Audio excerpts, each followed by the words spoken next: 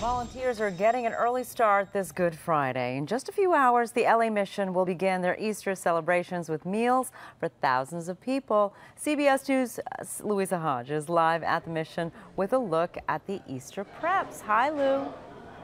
Hi there, Sharon. A lot going on this morning at LA Mission, getting ready to serve 3,500 meals to the homeless at 11 o'clock today. With me is Chef David Thomas, and you have been doing this for 15 years. Tell me about what's going on this morning. Well, right now, you can see our friends and our students are in here having breakfast right now, you know.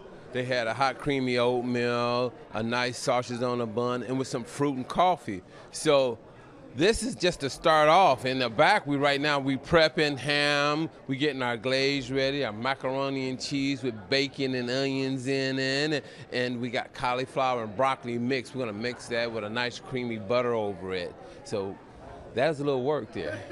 We got a lot of food and also giving away uh, some gift baskets. You can see here more than a thousand Easter baskets are going to be given out to kids today, and you can see a lot of that prep work being done and those flowers, Easter flowers. There's also going to be 2,000 Etnies shoes given out to the homeless, as well as a foot washing station as well. So this will take place throughout the day today and will continue until about 3 o'clock this afternoon. Live in downtown Los Angeles, Louisa Hodge, CBS 2 News.